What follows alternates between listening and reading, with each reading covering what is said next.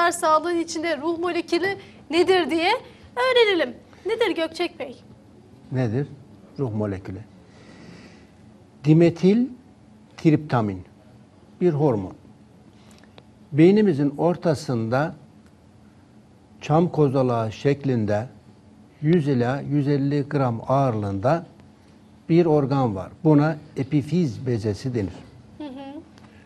Eskiden Darwinistler, ateistler yani inanmayan insanlar, insanların maymun soyundan geldiğini iddia edenler bu evrimleşme sırasında orada kalmış kötürüm bir organ diyorlardı. Yani insanlar evrimleşti vesaire vesaire iddia ettiler ya, insanlar maymundan Evet. geliyor diyenler o evrim sırasında işte maymundan insana dönüşürken orada kalmış bir boynuz gibi bir şey diyorlardı. Fakat bunun beynin takriben hemen hemen ortasında olan bu kozalak şeklindeki organ birçok hormon salgılar. Bu hormonlardan birisi dimetiltriptamin. Yani Ruh molekülü denir buna. Ruh molekülü. Bizi burayla öbür taraf arasında bağlantı sağlayan hormon. evet. Ya, ruh molekülü. Ee, melatonin ve pinolin gibi çeşit çeşit hormonlar salgılar. Amerika Birleşik Devletleri'nde New Mexico Üniversitesi Tıp Fakültesi Profesör Doktor Rick Stessman'a e, bir görev vermiş. Demişler ki araştır bakayım ruhları ne var ne yok. o da ölüm öncesi ruhun çıkışını, Evet. bunlarla ilgili araştırma yapmış ve çeşit çeşit yaşayan insanlara, olaylar yaşayan insanlara yapmış olduğu araştırma sonucunda böyle anormal şey yaşayan insanlarda DMT kısacası dimetil triptomin isimli ruh molekülünün kısa kısaltılmış şekli DMT. Evet. DMT yüksek oranda DMT içerdiğini tespit etmiştir. Ve insanlara DMT vermiş. Yani normal insanlarda DMT olursa ne olur diye tespit etmeye çalışır. Yani ölüm anında bir insanda DMT yükseliyor. Doğum anında da hamile anneler doğum yaparken anneler de ve bebeklerin doğum sırasında bebeklerin beyninde e, kafatasında, omurlarında çok yüksek oranda DMT ne yapıyor? Doğum sancısı çeken anne o DMT sayesinde acısını unutuyor, acısı sevince dönüşüyor. Yani o ona se- sevinç Yüklüyor. veriyor, huşu veriyor, rahatlatıyor. Yani sevgi aşılıyor DMT. Ee, Bununla ilgili yapılan araştırmalar sonucunda DMT alan insanların bizim gördüğümüz şeylerin haricinde başka şeyleri de görebildikleri tespit edilmiştir. Mesela Üç harfleri görebilmişlerdir. DMT. Tabi bu Amerika Birleşik Devletleri'nde New Mexico Üniversitesi Tıp Fakültesi'nde Profesör Doktor Rick Stessman daha birçok araştırma var. Sadece bu değil. DMT çok çok önemli. Önce DMT tehlikeli zannettiler. Bu esrar, Tehlikeli gibi görünüyor. esrar eroin gibi vesaire halüsinasyona sebep oluyor zannettiler ama beynin bunu salgıladığını görünce şaşırdılar. Sadece insan beyninde değil, hayvanların beyninde, hayvanlarda da salgılanıyor. Hatta bitkilerde de salgılanıyor. Birçok bitkide de bitkide aynı şekilde DMT üretiyor. Yani her bitkide, her canlıda DMT var. Az veya çok. Mesela bunlardan biri de çok enteresan üzerlik. Eskiden Anadolu'da İslam öncesi toplumlarda özellikle böyle bu tür maksatlarla kullanılmıştır. Yani insanların manevi haz kazanmak için yapmış oldukları dini ritüellerde kullanılmış. Şimdi DMT yani epifiz bezesinin salgılamış olduğu DMT kişi yani gece yoğun salgılanıyor saat 2-3 gibi. O nedenle mesela Peygamber Efendimiz gece namazları kılmıştır. Evet. DMT çok yüksek olduğu için sadece Peygamber Efendimiz değil, bütün peygamberler, bütün evliyalar, bütün din adamları o saat huşu saati 2-3 gibi, 3.30, 2.30 bu aralarda konsantre olduğu zaman kişi daha çok bağlantı kurabiliyor. Daha yoğun bir manevi haz kazanabiliyor. Yapmış olduğu dualar ne oluyor? Zikirler, dualar, gece yapılan dualar daha çok kabul görüyor. Bu denenmiş. Bu nedenle de bugüne kadar İslam alimleri, ulemalar gece zikretmişlerdir. Ama kişi gece zikretmezse de başka işlerle uğraşsa bu sefer de üç harfliler musallat olur. Çünkü o an yoğun bir manevi alan. Evet. Yani 2-3 arası gibi. Genellikle ilk, yani illaki 2-3 arası değil de bu alanda çok yoğun. Şimdi üzerliğin içerisinde içermiş olduğu hermalin, harmalan gibi etken maddeler ne yapıyor? Ee, e, MAO isimli bir enzim var. Mono amino oksidaz açılımı. Bu enzim e, serotonin hormonunu parçalanmasını engelliyor. E ne olur parçalanmazsa serotonin görevini gördükten sonra parçalanmazsa DMT'yi salgılanmasını artırıyor.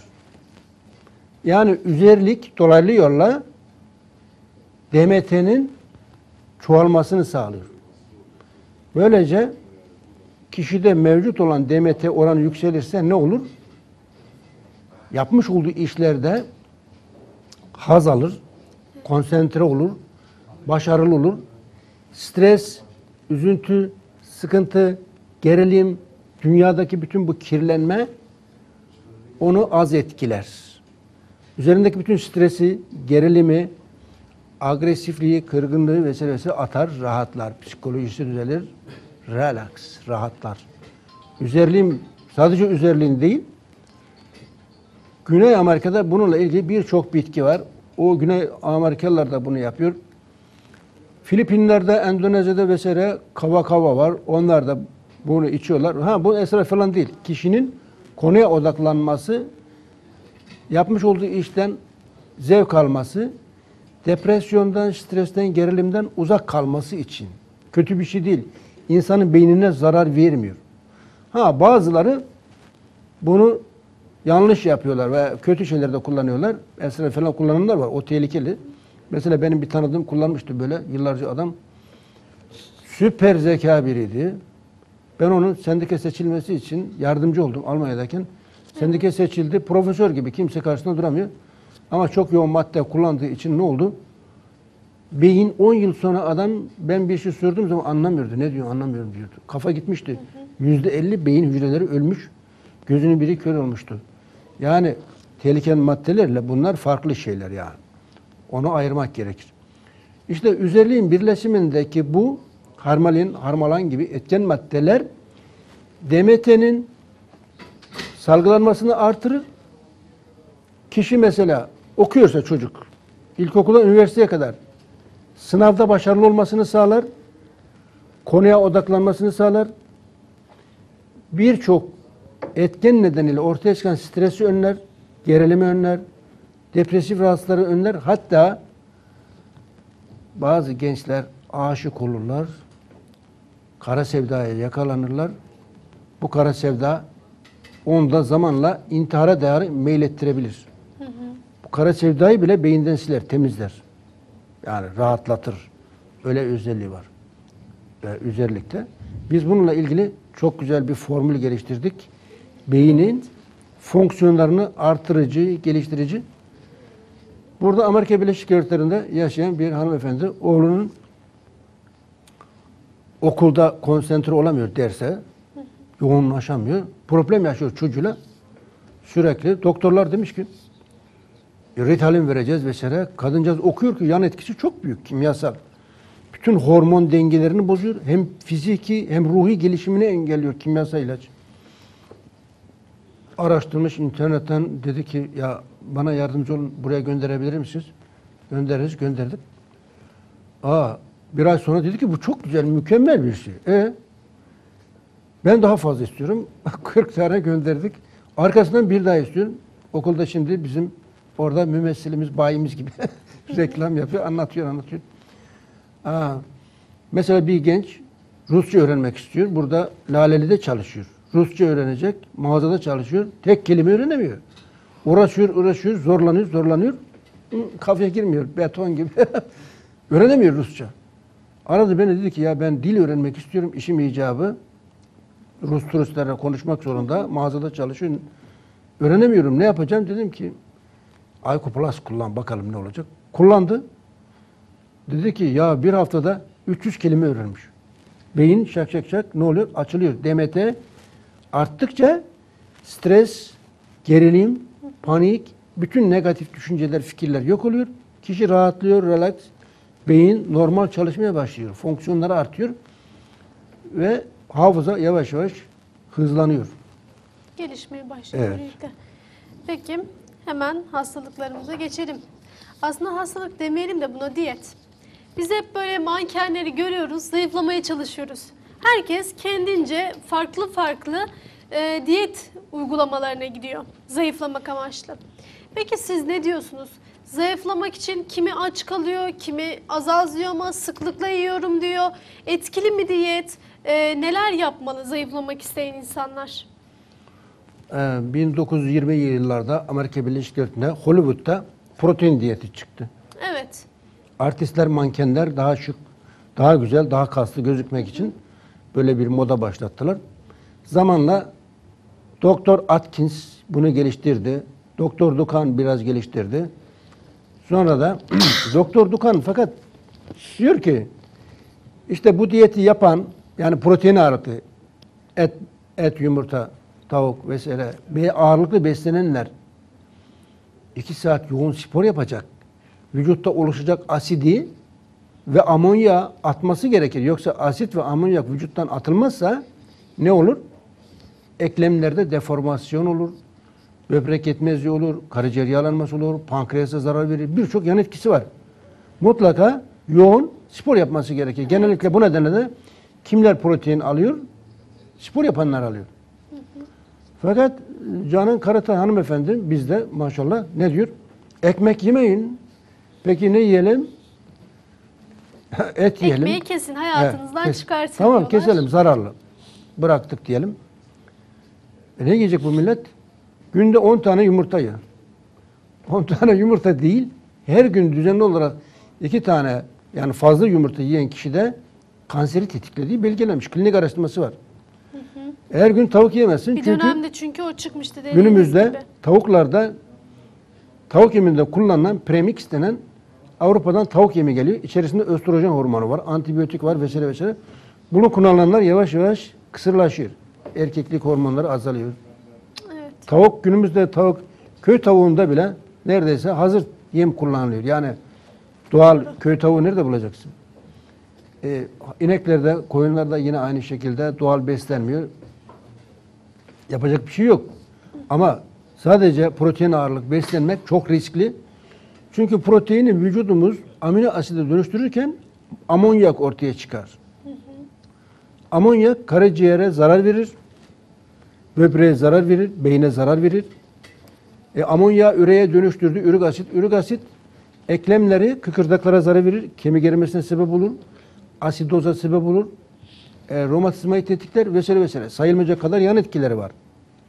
Şimdi bir hanımefendi 60 kilo, hamilelikten sonra kilo almış, olmuş 80 kilo. Karatay diyeti yapmış, zayıflamış, tekrar 60 kiloya düşmüş. Karatay diyetini bırakmış, 3 ay sonra olmuş 90 kilo. Yeniden almış o verdiği Fazladan kiloları. almış. 10 kilo fazla. Karatay diyetiyle 10 kilo fazla almış. Bu sefer ne yaptıysa kilo veremiyor. Çünkü vücudun hormon dengeleri bozulmuş. Daha önce kolay alıp kolay kilo verirken protein diyetiyle ne olmuş? Bütün vücudun hormon dengeleri bozulmuş. Gelmiş bana diyor ki artık zayıflayamıyorum. Ne yapacağım ben? Niye bana geliyorsun? Karatay hanımefendi orada. Oraya git dedim. Onun diyetini uygulamışsın Evet. madem. Oraya git diyor ki ulaşamıyorum vesaire. Yani yanlış iyi değil. Atkins, Doktor Atkins de bu protein diyetini tavsiye eden kişi döner lokan, lokantanın önünde döner böyle Amerika'da piş- pişiriyorlar, yapıyorlar, çeviriyorlar. O da gidiyor dönerin akan yağını dolduruyor bardağa içiyor. Yağ böyle içilir. Ne oldu? Kalpten Yağ gitti. zararlı diyorlardı. Kalpten gitti. Normal olarak tamam okey. Şimdi köyde yetişen bir ineğin etinin yağı yenir. Neden? Doğal. Doğal stearik asit içerir. Stearik asit yani eskiden don yağı yeniyordu bizim atalarımız, dedelerimiz de. Evet. Dedem don yağı içeri gidermiş ava. Ama o don yağı neden oluşur? Stearik asit. Stearik asit nedir? Zeytinyağının üç e, katlı bir hali. Bölünür bu stearik asit oleik asite. Bitti gitti. Yani zeytinyağına dönüşür. Don yağı. İçtiği zaman bünyemiz onu zeytinyağına dönüştürüyor. O da arakitonik, arazanası, prostaglandin vesaire hormona dönüşüyor. Kötü bir şey değil. Ama gü- günümüzde hayvanlar sünni yemle beslendiği için stearik asit yerine palmitik asit oluşuyor. E bölünmüyor, parçalanmıyor. Ne oldu? Depolanıyor vücuda. Yani burada hayvanda değil problem. İnsanların hayvanları yanlış yemle beslemelerinden kaynaklanıyor. Canan Karatay hanımefendi eğer ki bu tavsiyelerine devam ederse ne olur? Türkiye'de insanlar yakında tank gibi olur, yürüyemez. Herkes obez olur. Çünkü doğal et yok, doğal yumurta yok, doğal hiçbir şey yok. Ha, zepse, Artık meyve, doğallık gitti dediğiniz doğallık gibi. gitti. Bu nedenle illa ki şöyle beslenen, böyle beslenen demek yanlış. Dikkat etmek gerekir beslenirken. Şimdi mesela aspir yağı diğer fark, yağlardan farklı olarak konjuga yağ bu aynı zamanda doymamış yağ asidi vücuttaki doymuş yağları eriterek yavaş yavaş kişiyi zayıflatıyor. Mesela biz böyle bir hanımefendi üzerinde deney yaptık. Ya Profesör Doktor Mehmet Özbeyefendi Amerika'dan altın çilek iyi dedi. Millet altın çilek kullandı, zayıflamadı. Afrika mangosu dedi. Sürekli Efendim, bir şey öneriyorlar. Baktığınızda o iyi gelir, bu iyi gelir evet. diye. ahududu ketonu dedi. Sonra yeşil kahve. Durmadan üç ayda bir yeni Evet. ürün piyasaya sürüyor. Yeşil Ne- kahve bir dönem geçen sene herkes yeşil kahve alıyordu. Kahvecilerde kuyruk vardı yeşil kahve için. Evet. Hiçbirine faydası olmadı. Sadece bazılarının cebi doldu. Evet. Yanlış bir yönlendirme yapıyor sürekli. Yani bu da medya- medyatik olmak için insanları yanlış yönlendirmek iyi bir şey değil. Kötü. Dünyanın en tanınmış insanı yapmış olduğu işler yanlış işler. Allah yardım etsin, ıslah etsin. Amin inşallah maşallah. Yapacak bir şey yok. Ama aspir yağı ne yapıyor? Zayıflatıyor. Kullananlar internete girin bakın. Herkes zayıflıyor. Problemsiz. Ha lahana aynı şekilde zayıflatıyor. Neden? Çünkü lahananın birleşiminde ne var? Metil metilyonun sulfonun bromid isimli bir çok özel bir amino asit var. Hem bağırsak midedeki bakteriyi yok ediyor hem zayıflatıcı özelliğe sahip. Probiyotik var. Lactobacillus ve bifidobakterileri. Özel bir fermentasyondan mesela biz geçiriyoruz lahanayı. Ne yapıyor bu? Vücuttaki yağları eritiyor. Yavaş yavaş zayıflatıyor. Faydalı bakteriler bağırsakta arttıkça, zararlı bakteri ve mantarlar yok oldukça tekrar vücudun dengesi yerine oturuyor. Hormonlar normala dönüyor. Yani normal zayıflamak lahanayla, aspir yağla mümkün. Ama içerisinde şeker içeren altın çilek, Afrika mangosu, ahududu ketonu vesaire vesaire meyvelerle zayıflanmaz. Aksine kilo alınır. Bu Evet. elimizde gördüğünüz IQ Plus hafıza için kişiyi konuya odaklandırmak için özellikle Daha ilkokuldan yeni unutkanlıktan bahsediyorduk. Evet. İlkokuldan üniversiteye kadar çocukların okulda başarılı olmaları, sınavda başarılı olmaları için. Amerika Birleşik Devletleri'nde bir hanımefendi söylemiştim. Çocuk okulda hiperaktif, çok gergin, Evet. stresli, gerilimli, hiçbir şeyi, hiç kimseyi dinlemiyor. Sürekli oyun oynamak istiyor. Ders çalışmak istemiyor. Doktora götürüyor, doktoru diyor ki Ritalin, Ritalin. Ritalinde çok yan etkisi var. Beyindeki hormon dengelerini bozuyor. Çocuğu aptallaştırıyor yani. Birçok yan etkisi var. Ailesi dedi ki ya bize yardımcı olabilir mi? Ayko Plus. Göreceğiz, bakacağız. 6 hafta deneyin fazla değil dedim. Kullanmış. O çok çok memnun. Arkasından dedi ki bana 40 kutu gönderir misin? Ne oluyor dedim. Ya dedi sadece bizim çocuk için değil. Bütün komşu çocukları herkese tavsiye ediyorum dedi. Tamam gönderdik. Arkasından bir ay sonra tekrar bize 100 kilo... Bitmiş mi? Evet yani herkese anlatıyor. Dedi ki 100 tane daha göndeririz. Ne oldu dedim. Daha yeni gönderdik. Dedi ki "E, okulda herkese anlatıyorum. Şimdi herkes bunu konuşuyor. E, bu neden böyle? Bunun birleşiminde bir ginko var. Beyine kan akışını artırır. Beyni besler. Hafızayı güçlendirir. Sadece 36 ayrı klinikte 10.815 Alzheimer hastası tedavi edilmiştir. Ginko'yla. O gıda takviyesi. Evet, yani. bunun içerisinde ginko var bir. Üzerlik var iki. Üzerlik ne yapıyor? Birleşimindeki harmalin, harmalon gibi etken maddeler e, MAO isimli enzimin serotonini parçalanmasını önlüyor. Bu ne işe yarıyor? Beyinde hipofiz, epifiz bezesinin e, salgılamış olduğu DMT, dimetil triptil aminin artmasını sağlıyor. Yani ruh molekülünü artırıyor. E ne işe yarıyor? Ruh molekülü artarsa DMT kişide stres, üzüntü, sıkıntı, gerilim, depresyon, panik atak gibi rahatsızlar ortadan kalkıyor. Rahatlıyor, relax. Aynı köyde yaşıyormuş gibi rahat oluyor, relax. Bütün üzerindeki psikolojik gerilim, stresi atıyor. Evet, bu gördüğünüz şeytan pençesi kökü. Ne işe yarıyor peki? Afrika'nın Namibya çöllerinde yetişir. Bununla ilgili birçok klinik araştırması yapılmıştır. Almanya'da Profesör Doktor Kubulinski Freiburg Üniversitesi'nde yapmış olduğu araştırmalarda artrit, artroz, ankilozan, spondilit, Behçet hastalığı gibi birçok hastalığı tedavi etmişlerdir. Behçet hastalığı konuşacaktık ama vaktimiz olmadı. Evet onu konuşacaktık ilerleyen dakikalarda. Başakşehir'de bir hanımefendi 50, 55 yaşlarında ağzının içerisinde 15 yıldır oluşan behçet nedeniyle, af nedeniyle, yaralar nedeniyle pipetle besleniyor. Sert bir şey yiyemiyor. Sıvı, çorba, su vesaire, meyve suyu. İsterseniz hani ondan bahsetmişken kısaca Behçet hastalığında bir değinelim. Hani izleyenlerimiz nasıl bir hastalık bilsinler. Ondan sonra isterseniz onu da üzerine takviye edelim. Evet, çok güzel. Behçet ağız içerisinde genellikle aft olur kişinin. Bir. Evet. Gözlerinde bazılarının üveyt olabilir. Gözleri, gözleri iltihaplanabilir. Vücudunun çeşitli yönlerinde nokta şeklinde kızarıklıklar olabilir. Evet. Yani kurdeşine benzer nokta nokta ekstama türü. Eritrematoz gibi böyle yuvarlak e, düğme şeklinde yaralar oluşabilir. Bazılarının cinsel organında yaralar olabilir vesaire vesaire. Yani Bunlar teşhisi olduğunda kişiler anlayabilir yani Teşhisi, evet evet olduğunu. doktor bunu teşhis edecek, etmesi gerekir. Kişinin kendisi teşhis etmesi zordur. Birçok Evet. birçok semptom benziyor. var. Bu hanımefendi böyle yıllardır 15 yıldır bu rahatsızlıktan muzdarip. Tabi gitti gidip geldiği marketteki genç demiş ki "Aa, yengeciğim işte benim rahatsızlığım vardı romatizma Gökçek'ten şu şu ürünleri aldım. Kullandım hiçbir şeyim kalmadı. Ha, Marketteki Evet, markete kişi gidiyor. Marketteki kişi diyor ki ben gök sen de sana da tavsiye ederim sen de kullan. O diyor ki ben ben bir yere gidemem, gelemem. Sen getirir misin falan. Tamam. Gönderdik. Aldı, kullandı. 6 ay sonra hiçbir şey kalmadı. Aradı mı sizi? Tabii tabii aradı, teşekkür etti. Dedi ki artık hamdolsun 15 yıl sonra artık yiyip içebiliyorum dedi.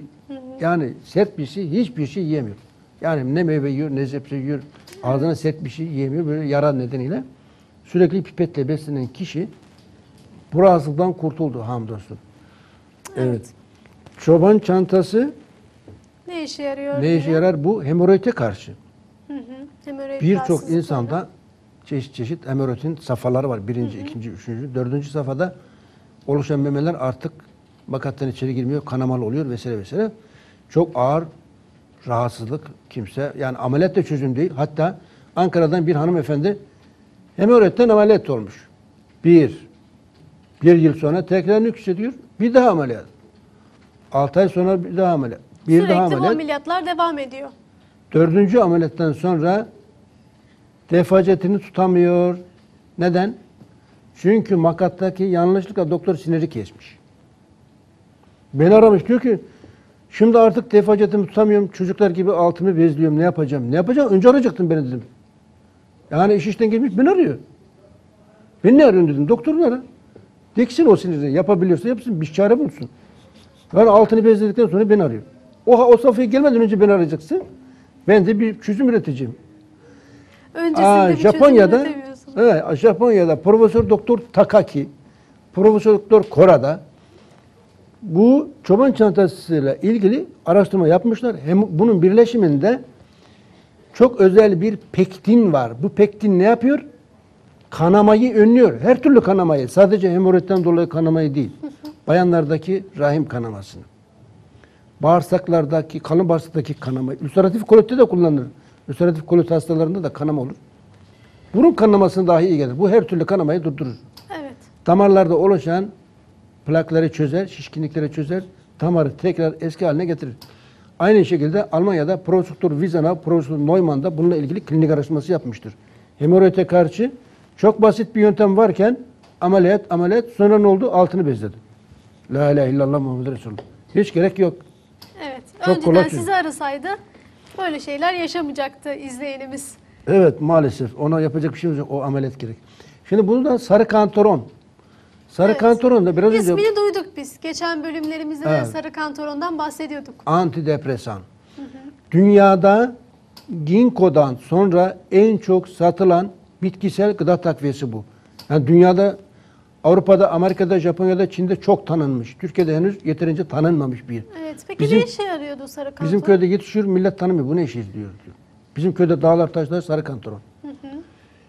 Depresyon, panik atak, stres, üzüntü, sıkıntı, gerilim. Evet. 10 numara. Nereden biliyoruz? Klinik araştırması var. Binlerce. Hastalar üzerinde denenmiş. Mesela bir bizim bir tanıdık yani hasta Hatice Hanım panik atak, depresyon, bunalım bir sürü rahatsızlığı var. Kadıncağız yataktan çıkamıyor, korkuyor. Sokağa çıkamıyor. Yani evin içinde gezemiyor. O kadar bütün hormon dengeleri bozulmuş. Depresyon şiddeti ve boyut almış demek ki o kişi. Ya dedi ki beni aradılar. Dedi ki ne olacak bu? 6 hafta sonra inşallah çarşıya pazara gidip alışveriş yapacak hale gelecek dedim. Peki Bağırsaklarında oldu mu 6 hafta Evet. sonra? Bağırsaklarında mantar, şişkinlik, hazımsızlık, kabızlık var dedi. Nereden biliyorsun? Çünkü bağırsaktaki mantarı yok etmezsen bağırsak ikinci beyindir. Bağırsaklarda faydalı bakteriler azalırsa vitamin azalır. B6, B9, B12 vitamin beyni besliyor. Yerine mantar yerleşirse mantar toksik madde üretir. Ne yapar? Beyni bozar. Hormon dengesini bozar. Yani beyni bozan veya iyileştiren bağırsaktır. Yanlış beslenirsen beyin bozulur. Doğru beslenirsen beyin düzelir. Yani bağırsak ikinci beyin derler bu nedenle de. O ikinci beyin bir ara başka bir zamanda anlatayım. Sarı kantaron bu bayan kullandı. 6 hafta sonra çarşıya sokağa çıkmaya başladı. Ve hiçbir rahatsızlık kalmadı. Artık rahat. Bütün aile de rahat. Çünkü korkuyorlardı. Ne yapacak? Ne yapıyor? Yataktan çıkmıyor kadın. Bir lavaboya gidiyor, bir şeyler atıştırıyor, geri yatağına yatıyor. O kadar korkuyor. Gerilimli. Ha bunun bir özelliği daha var. Benim tanıdığım yaşlı bir zatı muhterem. Kendisi 65 yaşlarında, hanımı 25 yaşında.